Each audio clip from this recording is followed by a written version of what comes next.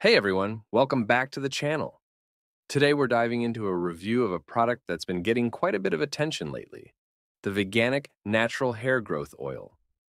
According to the packaging, it's designed to promote natural hair growth using plant based ingredients. It's also supposed to strengthen and protect your hair, which is great news if you have thin, dry, or damaged hair. Sounds pretty amazing, right? But as with any product, we need to dig deeper to see if it really lives up to these claims. So I started my research online and came across a website called Veganichair.com, which sells this product. At first glance, the site looks pretty legit. It's got a clean design, lots of product information, and a bunch of five star reviews. But here's where things start to get a bit fishy.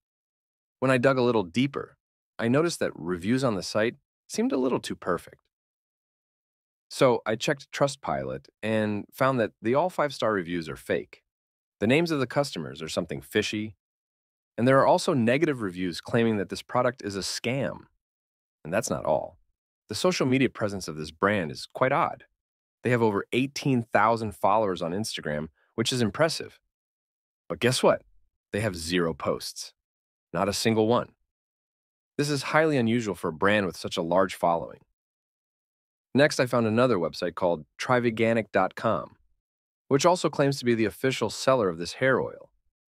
But the reviews on this site also seem fake. I even noticed that some of the customer review images were copied from social media. When I checked Trustpilot again, there were only two reviews for this site, and both were negative. This really made me question the authenticity of the website and the product.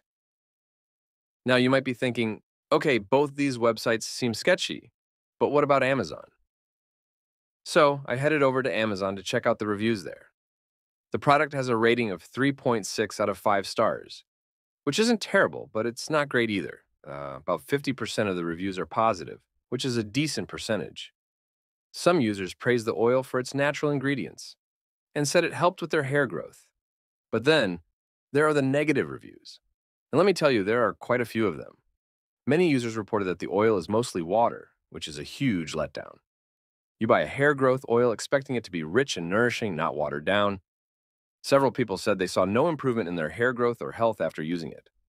There were also complaints about the packaging, with reports of leaking bottles and malfunctioning droppers. And to top it all off, some users even doubted the product's vegan claims, which is a big deal considering it's marketed as a vegan product.